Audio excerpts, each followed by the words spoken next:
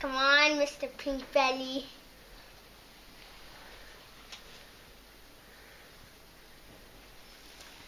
Oh, I'm so close to putting this on.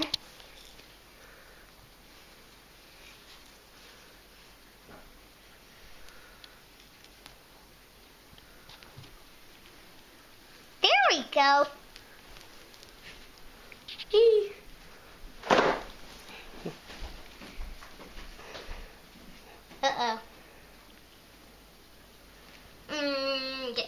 Out of there.